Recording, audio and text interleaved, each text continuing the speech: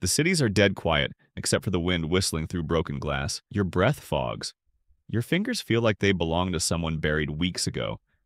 No heat, no light, just you, frostbite, and the creeping dark. Solution?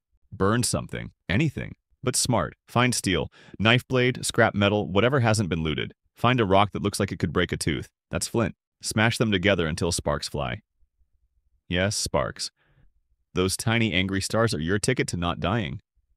Catch them in something dry. Dryer lint, shredded paper, old ratty t-shirt.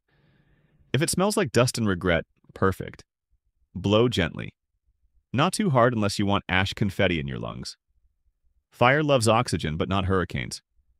Science bit? Sparks are tiny molten bits of metal.